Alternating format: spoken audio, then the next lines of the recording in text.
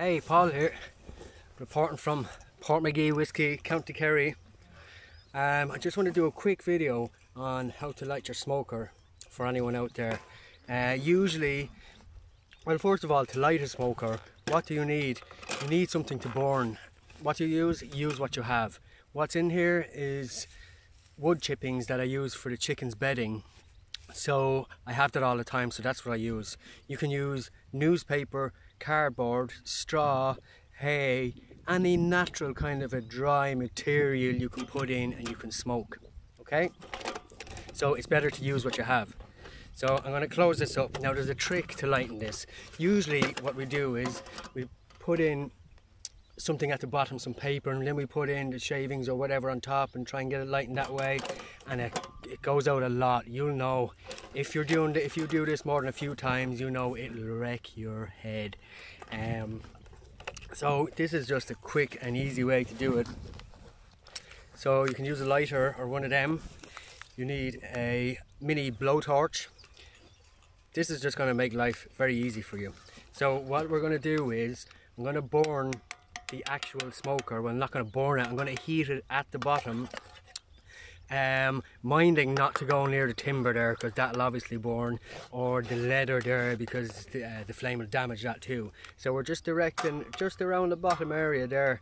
Um, so we put it on there for a few seconds and then we'll start pumping and uh, it'll light very easily. I'll show you. So we light uh, this guy first. He's kind of empty. Hopefully he doesn't keep cutting out like he did last time.